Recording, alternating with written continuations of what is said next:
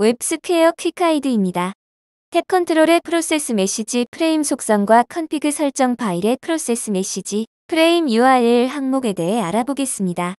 본 비디오는 W frame tab 내부에 표시하는 submission 상태 메시지를 변경하는 방법을 설명합니다.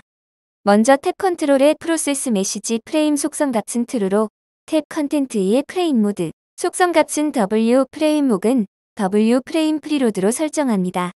그리고 submission 상태 메시지의 파일 위치를 config 설정 파일의 process message frame URL 항목으로 지정하십시오. 예제를 통해 확인해 보겠습니다. 탭의 content 부분을 선택합니다. 프레임 모드를 W 프레임 목은 W 프레임 프리로드로 설정합니다. 그리고 tab control의 process message frame 속성 값을 true로 설정하십시오. 저장합니다.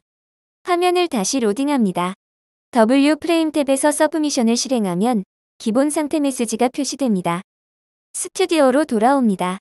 새로 사용할 상태 메시지 파일입니다. 외부에 붉은 테두리가 있습니다.